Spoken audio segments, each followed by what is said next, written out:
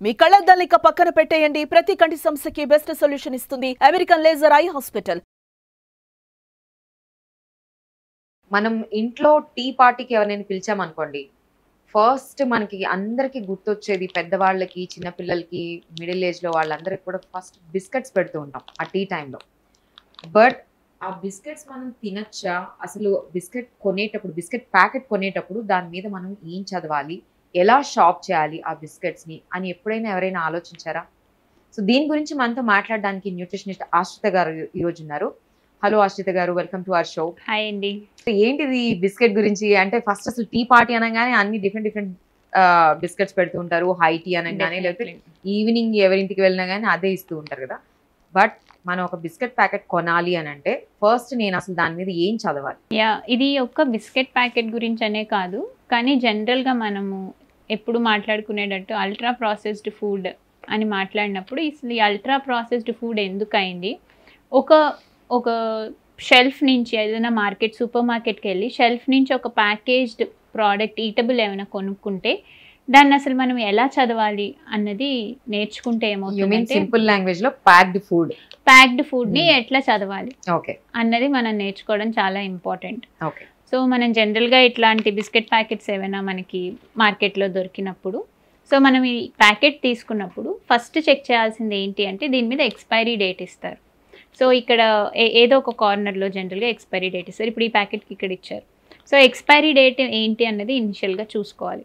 So okay అది within the time frame ఉందా లేదా అన్నది ఫస్ట్ పాయింట్ సెకండ్ పాయింట్ ఏంటంటే ఎవరైనా వెజిటేరియన్స్ లాంటి వాళ్ళు ఉంటే దాని మీద వాళ్ళు ఇస్తారు గ్రీన్ సిమ్.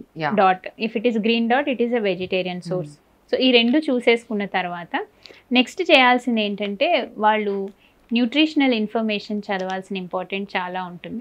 సో మనకి ఏదైనా ప్యాకెట్ తీసుకుంటే ఇట్లా ఒక టేబులర్ కాలంలో ఉండి ఇందులో ఏమేమి న్యూట్రియంట్స్ ఉన్నాయి అన్న విషయం ఇక్కడ మనకి చెప్తారు సమ్మరీలో సో అయితే ఈ బిస్కెట్ ప్యాకెట్ తీసుకుంటే ఇందులో మనకి హండ్రెడ్ గ్రామ్స్కి ఇచ్చారనమాట అప్రాక్సిమేట్ వాల్యూస్ హండ్రెడ్. గ్రామ్స్కి ఇచ్చారు.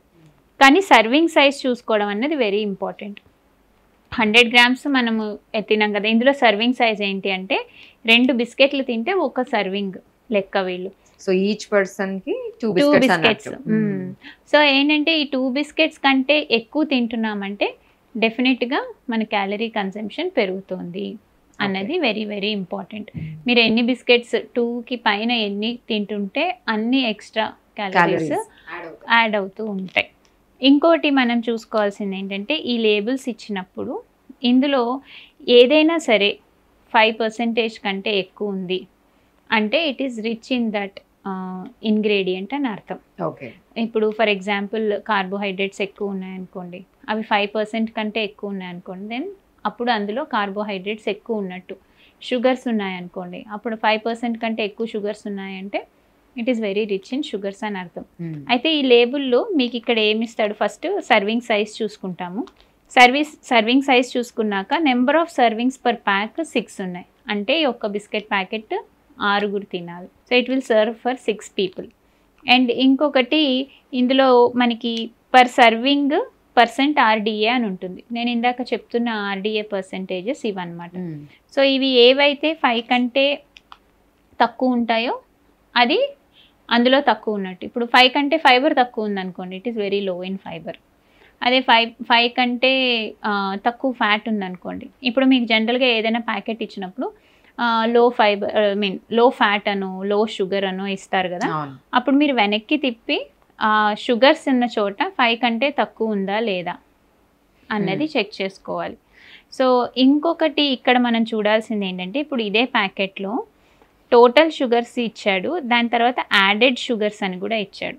ఓకే. టోటల్ షుగర్స్ వచ్చి ఇందులో thirteen point one grams added sugars వచ్చి eleven point nine grams for hundred grams ఇచ్చాడు. సో అంటే ఏంటి ఇక్కడ? యాడెడ్ షుగర్స్ ఫోర్ పర్సెంటేజ్ కంటే తక్కువే ఉంది. కానీ టోటల్ షుగర్స్ కనిపిస్తే అది ఫోర్ ఫైవ్ పర్సెంటేజ్ కంటే ఎక్కువ Hmm. ఉంటుంది. సో ఇట్లాంటి చిన్న చిన్న డీటెయిలింగ్స్ మనము చెక్ చేసుకోవాల్సిన అవసరం ఉంది. కానీ జనరల్గా ప్యాకెట్ తీసుకున్నప్పుడు పక్కనున్న పర్సంటేజెస్ చూసుకోండి. ఆ క్లెయిమ్కి ఈ పర్సంటేజ్కి మ్యాచ్ మ్యాచ్ అవుతుంది అవుతుందంటే అనేది వెరీ ఇంపార్టెంట్ నెక్స్ట్ ఈ న్యూట్రిషన్ లేబుల్ చదివేసిన తర్వాత నెక్స్ట్ మీరు చెక్ చేసుకోవాల్సింది ఏంటంటే ఇంగ్రీడియంట్ లిస్ట్ ఇక్కడ మీకు ఇంగ్రీడియంట్ లిస్ట్ అని ఇస్తాడు. సో ఈ లిస్ట్లో ఫస్ట్ ఏ ఐటెం ఉంటుందో ఈ ప్యాకెట్లో ఈ ప్రోడక్ట్లో అది ఎక్కువ ఉన్నట్టు అర్థం. యా. సో ఇందులో వీళ్ళు ఇచ్చింది ఏంటి అంటే వీట్ ఫ్లోర్ హైయెస్ట్. కానీ వీట్ ఫ్లోర్ తర్వాత నెక్స్ట్ ఉన్నది ఏంటంటే refined palm oil which is very very rich in saturated fat it is not good for your heart ఇందులో రిఫైన్డ్ పామ్ ఆయిల్ ఉంది. నెక్స్ట్ వచ్చేసి షుగర్ ఉంది. Okay. So first three ఇంగ్రీడియంట్స్లో wheat oil sugar. Right? So ఇంకొకటి ఏదైనా సరే ఇప్పుడు దీని మీద క్లెయిమ్ ఏమి ఇచ్చారు అంటే హై ఫైబర్ అని ఇచ్చారు.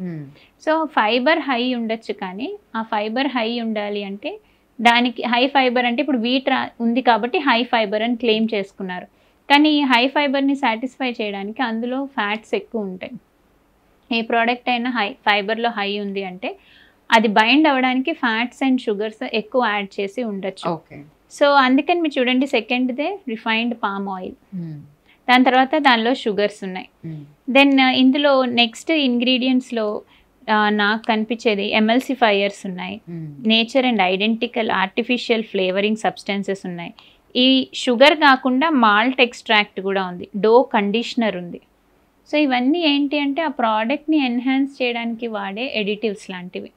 సో మాల్ట్ ఎక్స్ట్రాక్ట్ కూడా this is also a sugar added. Sugar malt అంటేనే it is a sugar so ఇట్లాగా మనం ఒక ఒక బిస్కెట్ ప్యాకెట్ కొనుక్కుంటే వెనక లేబుల్ చదవడం చాలా ఇంపార్టెంట్ ఎవరికైనా ఎలర్జీస్ ఉన్నాయనుకోండి ఇప్పుడు ఇందులో మిల్క్ సాలిడ్స్ ఉన్నాయి.